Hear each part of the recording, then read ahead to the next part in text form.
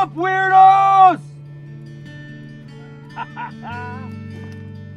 oh, it's a good day today. Good morning, everyone. Man, did I ever sleep good last night with my back doors of the van wide open. I got to see that first thing in the morning. The breeze was just coming over the bed. Whew, it was amazing. Uh, what a great way to wake up, man. Welcome to my day today. The sun is just peeking out. It's a little bit cloudy though. The temperature is really warm. Like it's got this mugginess to it. Man, this is such a great way to wake up. Whew. Woke up, edited a video, had myself a morning coffee, took a shit in a pail. I put the pail right there beside the chair. I took a shit this morning looking at that. It was, it was one of those moments where it's like, whew, this is, okay. It was oddly exciting to be pooping in a pail and looking out at this. It was so freaking cool. And I never thought I would ever say that, but real van life moments that were just, it was exciting. All right, I gotta go upload a video because you guys haven't gotten a video. You didn't get a video yesterday. Um, the time you, yeah, okay. I gotta go into town to get some Wi-Fi and Lillooet is probably be about uh, 30 minutes that way or something like that. What do you say, Cruz? Ready to go? Hey? All right, everybody let's start this video.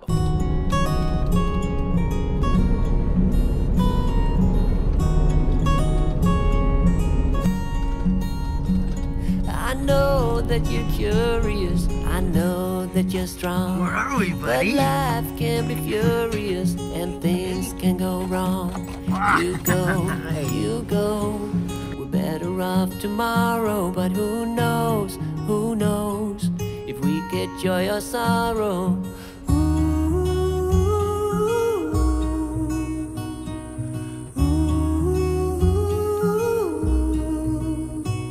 Stay true to that fire in your heart and your soul. Don't drench your desire in what you can't control. We fly.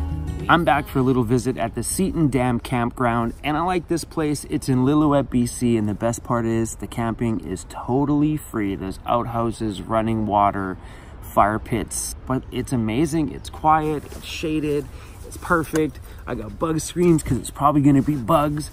Um, but before we talk about what I wanna talk about today, I need to get something off my mind. Um, I wanna talk about free parking for a second. I have somebody that I know that just recently started van life that has watched my channel religiously and watched other people's van life channels. And now that they've gotten into the van, they're really struggling with finding places to park. Even though they watch me do it on the day-to-day -day basis and watch multiple videos I've made about parking, and I think what it is, is this the blockage in your mind when you're like, well, maybe people are watching me or is this allowed or is this safe? Um, don't pay for parking when you first get into the van. I mean, I understand maybe the first couple nights hit up the campground to see if the van's comfortable, but I'm hoping before you start van life, you've at least spent a few weeks living in your van before you actually leave the apartment that you're living in and get branching out to live in the van. That's my suggestion is get out there and know what it feels like before you jump into the lifestyle because that way you know what you're getting into. The worst thing you want to do is is want it. Then when you actually do it, you're like, whoa, this is not for me. Um, just just a quick suggestion for that. But there are so many free places to park.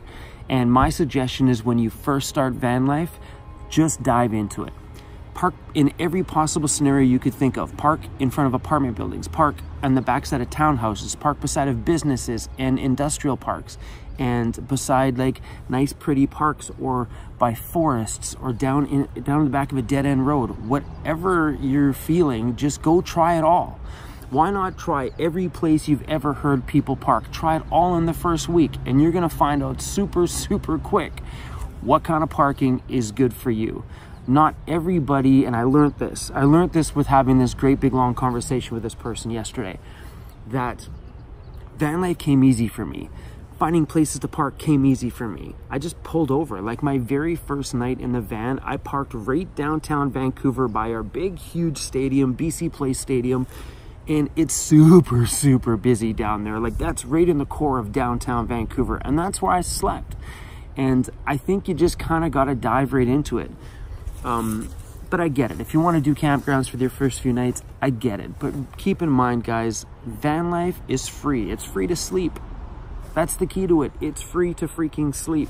And if you are going to stay at a campground, do it in the off season when they're free. I know in my area, camping is big time free in the off season, unless you're closer to like bigger cities.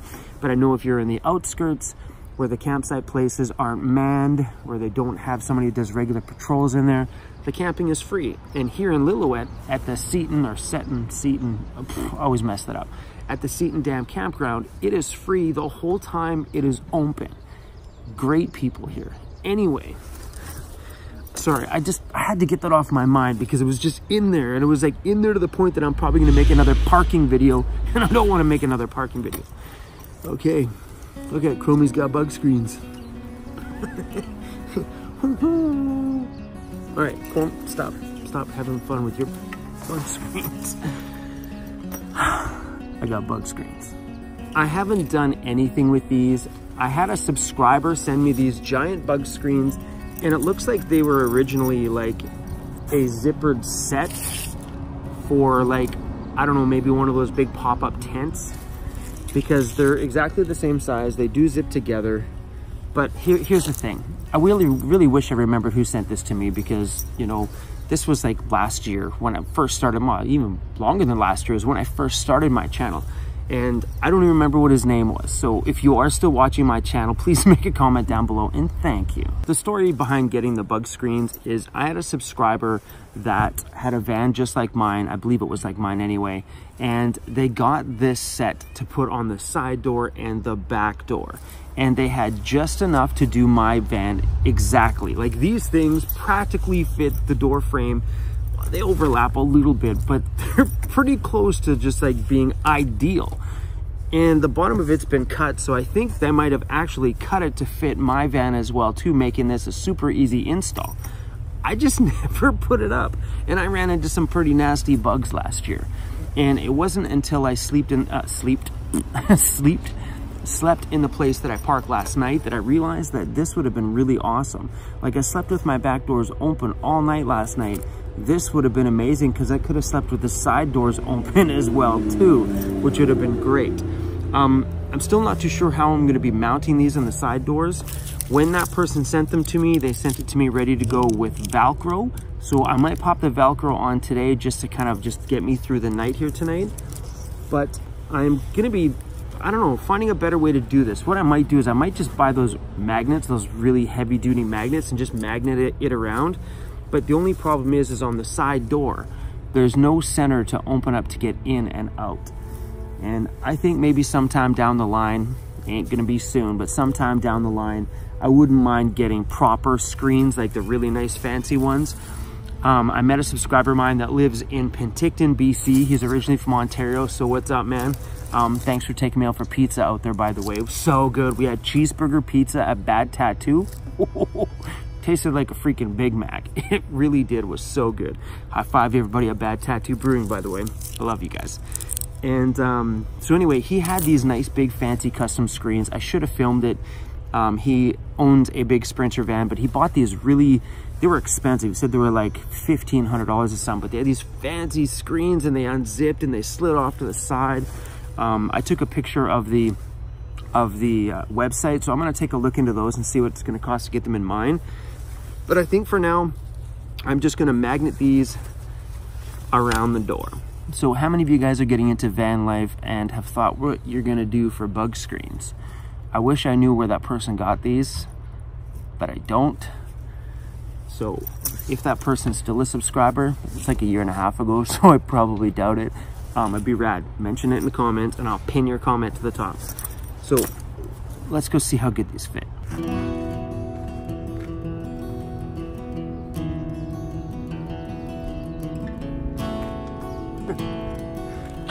That thing's actually a pretty good fit. I think I'm gonna go buy those magnets from Amazon, I think, because I could just pop these all the way around and stick these to the outside of the van, like over here. And it'll hold it all up just temporarily until I decide what I wanna do for a permanent fix.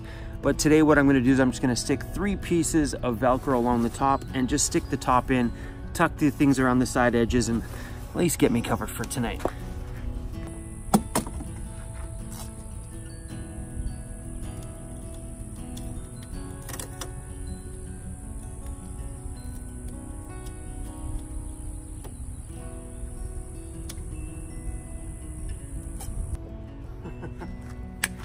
Perfect. And just tucking the rest of this stuff inside of the van behind my cabinet. Done deal. There's no bugs getting in there tonight. Somebody's having a puppy dream. Cruz is getting so freaking big. When I got him, he used to be like the size of my foot. Now he's like three feet. Oh, he's running again. Run, Cruz, run. Run, buddy, run. he's so cute when he dreams.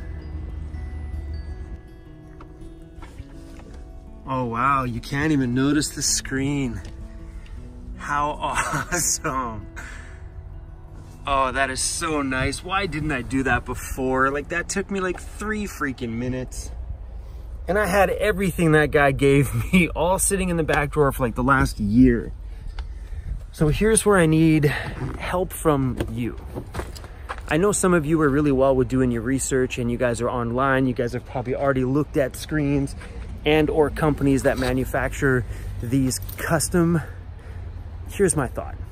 I got this ramp here for my dog and every time we're out at a place like this or out somewhere social at a park or around other people, I always make sure the ramp stays out here so if the dog ever gets tired or gets tired of people or is thirsty or hungry, he's got a way to go in and out of the house all the time. So if I'm ever camped out somewhere or boondocking somewhere and there's a lot of bugs and I have this screen up, it's gonna pose a problem for Cruz wanting to get in and out of the house. So if anybody knows or anybody can do this for us, that'd be rad. I'll happily pay you guys if someone out there can can do it with the quality that that will last, you know, last the length of this van anyway.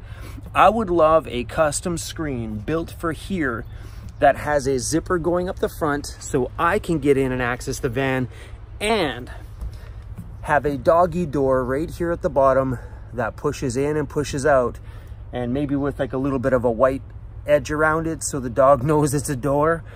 And because how awesome would that be if Cruz can just go in and go out and the bugs just stay out. I think that would be super rad and super awesome. Anyway, everybody, I'm breaking a sweat right now, which means it's probably time to crack myself a beer, another one, and enjoy the rest of my day today. So if anybody has any suggestions about screens and stuff, please leave them in the comments. And thanks for spending a little bit of time with me, and I'll see you guys tomorrow.